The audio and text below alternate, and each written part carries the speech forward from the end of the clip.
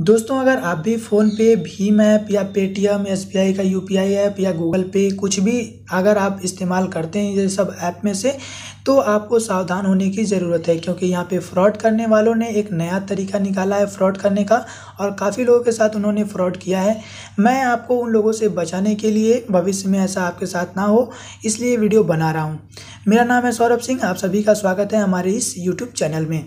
दोस्तों, कई बार लोग अपने पुराने सामानों को बेचने के लिए क्विकर पे या OLX पे जो है, ऐड डाल देते हैं। फ्रॉड करने वाले लोग उन्हीं लोगों को पकड़ते हैं और उनके सामानों को ख़रीदने के लिए वहाँ पे उनसे रिक्वेस्ट करते हैं कि मैं आपके सामान को ख़रीद लूँगा और फिर बाद में पेमेंट करने का बोलते हैं।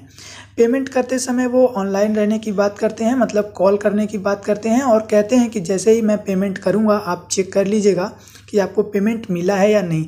इससे क्या है कि हमें पता चल जाएगा कि पेमेंट मिला है या नहीं। फ्रॉड करने वाला ऐसा कहता है। तो लोग आसानी से मान जाते हैं, कॉल पे बने रहते हैं और वो पेमेंट करने की जगह पे, जैसे कि अगर आप इस्तेमाल कर रहे होंगे सारे एप्लीकेशन जो मैंने आपको बताए हैं, उसमें दो ऑप्शन मिलता है, एक पेमेंट का और एक मिलता है रिक्वेस्ट का। यहाँ पर रिक्वेस्ट का मतलब ये होता है कि आप किसी से, अपने जो है दोस्त से या फिर अपने रिलेटिव से रिक्वेस्ट कर सकते हैं कि मुझे इतने पैसे चाहिए और वो जब एक्सेप्ट करके आपको पेमेंट करेगा तो वो पेमेंट आपके पास आ जाती है। इसी का फ़ायदा उठाते हैं ये फ्रॉड करने वाले लोग। यहाँ पे वो पेमेंट ना करते हुए रिक्वेस्ट करते हैं सेम नंबर पे। तो जो कॉल पे बना होता है आदमी जिसको अपने सामान को बेचना होता है, पुराने सामान को, उसके पास पेमेंट ना जाते हुए रिक्वेस्ट जाती है। और वो कॉल पे फ्रॉड करने वाला व्यक्ति उनसे कहता है कि आप जो है चेक कर लीजिए आपका पेमेंट आया है कि नहीं। और आने के बाद हमें बताइए। वहाँ पर नोटिफिकेशन आया होता है और वो वहाँ पर गलती से जल्दीबाजी में ओके बटन पर क्लिक करते हैं और वहाँ पर अपना पिन डाल करके चेक कर बैलेंस चेक करने के चक्कर में पिन भी डाल देते हैं।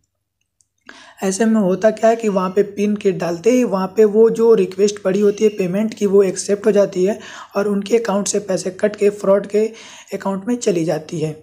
और वहाँ पे कल वो कॉल को भी वो फ्रॉड करने वाला व्यक्ति डिस्कनेक्ट कर देता है।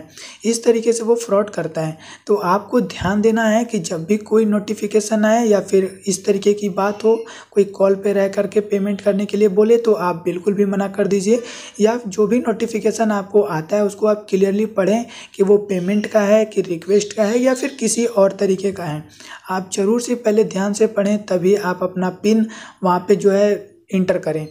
तो ये फ्रॉड करने का एक नया तरीका इन्होंने निकाला है। तो मैं आपको उन लोगों से बचाने के लिए ये वीडियो बना रहा हूँ। और आप भी इस वीडियो को और लोगों के पास पहुँचाएँ ताकि और लोग बच सकें इस तरीके के फ्रॉड के होने से। देखिए, ये केवल क्यूकर और जो ओ से ही बात नहीं है, आपकी डिटेल्स किसी और तरीके से भी निकाल सकते हैं और डिटेल्स निकालने के बाद आपको पेमेंट का रिक्वेस्ट कर सकते हैं कि वो आपको पेमेंट करेंगे, पर वो वहाँ पे पेमेंट ना करके रिक्वेस्ट कर सकते हैं। तो ऐसे में फ्रॉड होता है। तो आपको ध्यान देने की ज़रूरत है कि जो भी नोटिफिकेशन है, आप उससे बचें और वहाँ पर कॉल पर रहते हुए कभी भी जो है पेमेंट लेने और देने की बात ना करें। मैं उम्मीद करूँगा कि आपको ये वीडियो पसंद आया होगा। अगर आपको वीडियो पसंद आया तो प्लीज़ हमारे इस वीडियो को लाइक कीजिए शेयर कीजिए, हमारे चैनल को सब्सक्राइब कर लीजिए, ताकि आपको इसी तरीके की नई और लेटेस्ट वीडियोज़ मिलती रहें। थैंक यू वेरी मच जय हिंद, जय भारत।